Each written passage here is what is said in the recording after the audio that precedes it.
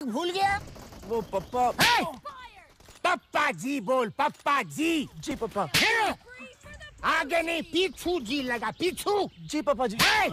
जितना बोला उतना ही बोल।